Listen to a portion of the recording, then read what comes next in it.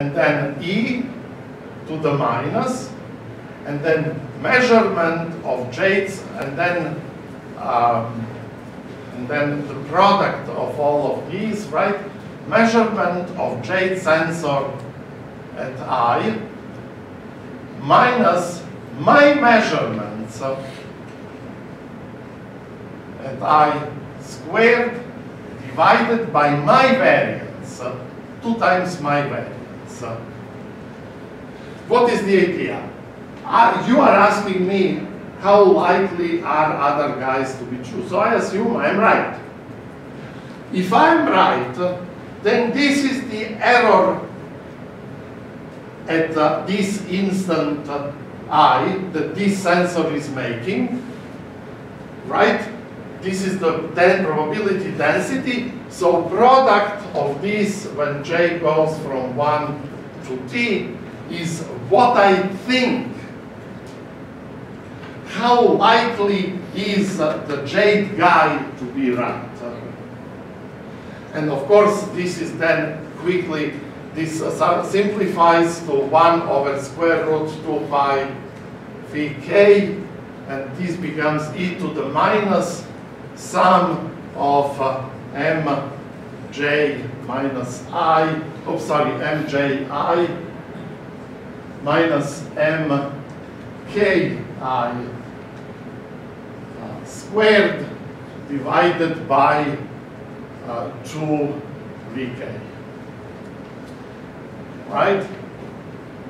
Now, then the trustworthiness of the measurements of my sensor will be just the likelihood by all sensors and we uh, aggregate the likelihood just by taking a product so its product 1 goes from J to T.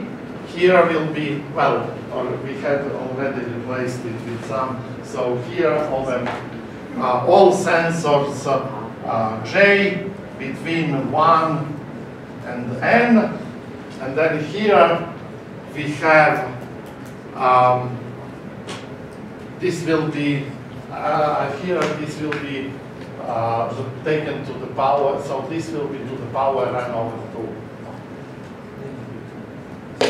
right? So uh, and then here we will have 2 pi vk to the power n over 2 times e to the, and then this difference square over 2 vk, so here is m j i summation over j over uh, over over i, and then uh, minus m k i from 1 to t.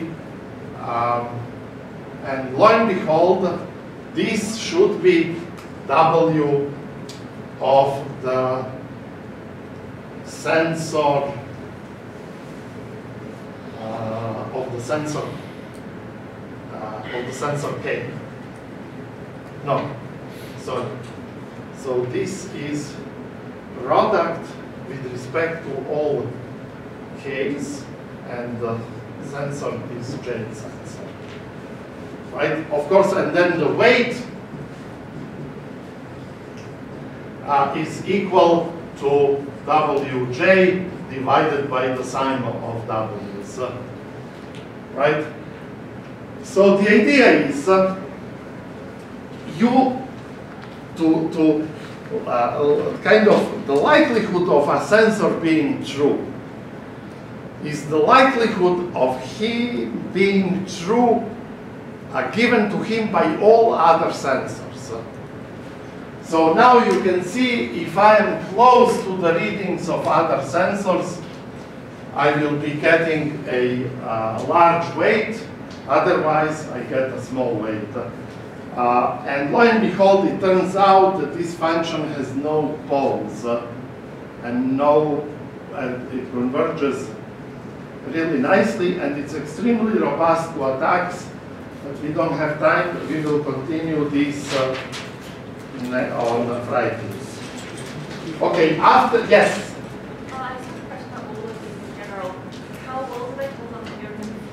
Sorry, sorry, you have to build louder. Sorry.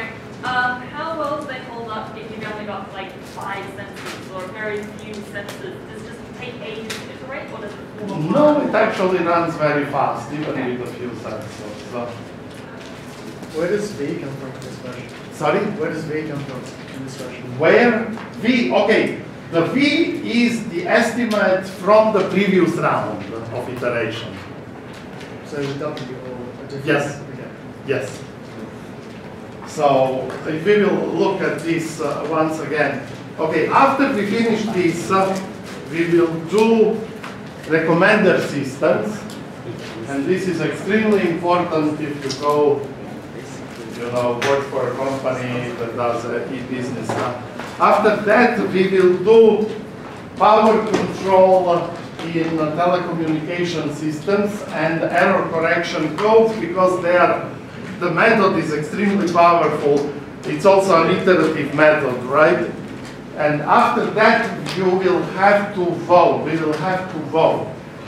Because uh, we can devote the last about third of the course to introduction to basic signal processing for computer scientists. For example, why JPEG works. Amazingly enough, uh, it works for a spectacularly intuitive and beautiful reason, but uh, uh, in the engineering textbooks, they simply don't say why you use discrete cosine transform and not just uh, discrete Fourier transform.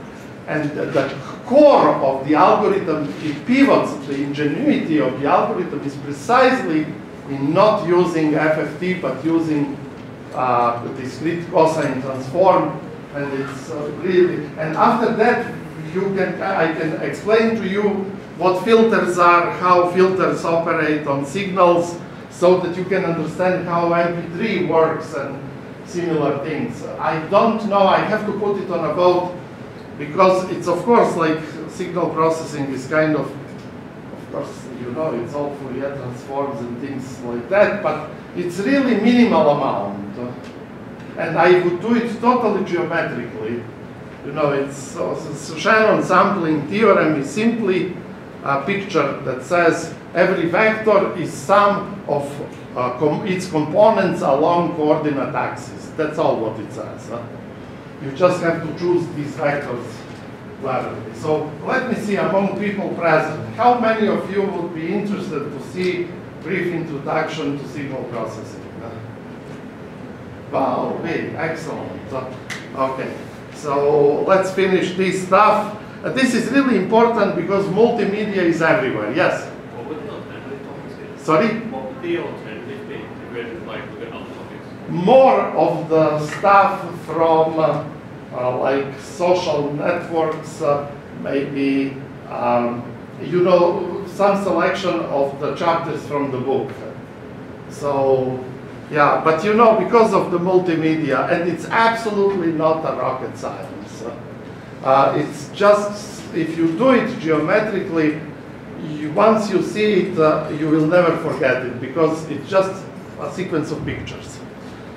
Okay. Uh, you, did you stop it? No.